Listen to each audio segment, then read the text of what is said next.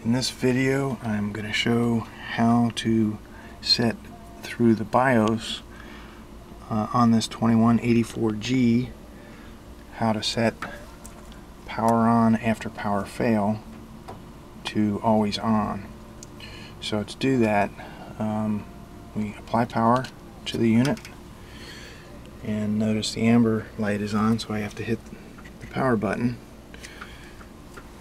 so now it will post. And I need to tap the delete key to get into the BIOS settings screen. And we go over to the chipset and the PCH IO configuration.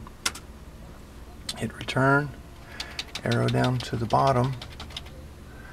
And there's an item on here called restore AC power loss actually the default setting for this is last state but I changed it to power off to show how the unit uh, would power on if you were to shut down from a Windows application.